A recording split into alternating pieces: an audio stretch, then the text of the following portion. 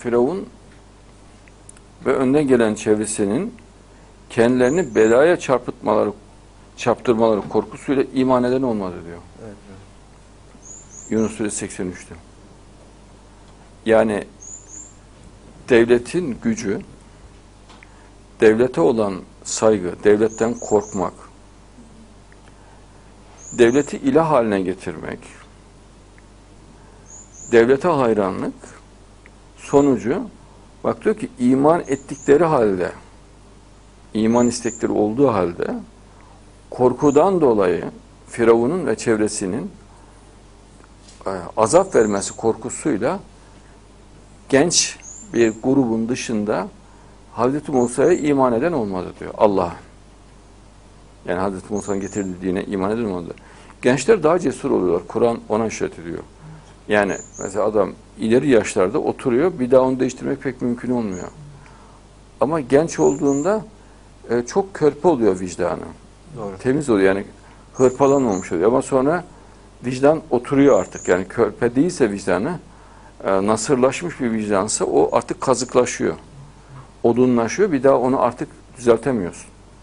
Cenab-ı Allah onları kof kütüğe benzetiyor. İçi boşaltılmış kütük. Evet. Yani dıştan baktığında hoşuna gider diyor görünüşleri. Heybetli.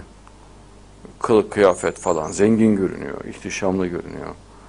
İşte devletin görünümü de mesela değil mi? ihtişamlı falan görünüyor. Ama içi kof oluyor. Bazı vakalar için söylüyorum. İçi boş oluyor. Kof bir kütük gibidir diyor Allah. Evet.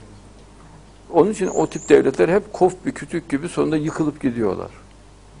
İçi boşalmış yani. Ruhu yok. Halbuki e, mümin genç bir fidan gibi oluyor. Allah filize benzetiyor Müslümanları. Filiz. Yeni açan, yeni gelişen filiz. Ama küfrü ve o sistemi, o yapıyı da kof kütüğe benzetiyor Cenab-ı Allah.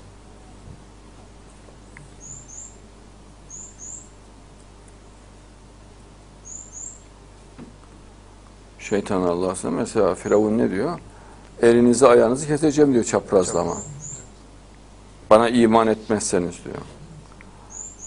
Halk niye iman ediyor ona? İman, iman etmelerinin nedeni ne? İşte o korku. Devlete olan saygı. O bir buzağıyla temsil ediliyor. Adam buzağı gördün mü devletin gücünü aklına geliyor. O bu, buzağının boynuzları, o buzağının böğürmesi devleti temsil ettiği için ödü kopuyor.